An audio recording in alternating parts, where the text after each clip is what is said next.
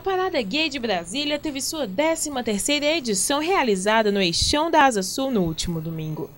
De acordo com a organização do evento, a parada reuniu cerca de 40 mil pessoas entre gays, lésbicas, bissexuais e transgêneros que caminharam até a esplanada dos ministérios sem tumultos ou ocorrências policiais.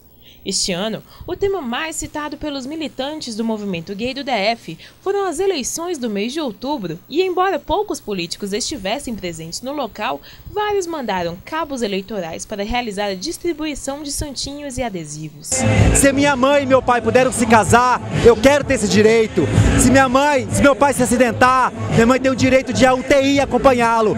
Meu companheiro, se ele ficar na UTI, eu não tenho esse direito. Será que as pessoas querem realmente? Elas estão pensando quando elas são homofóbicas, são contra os nossos direitos?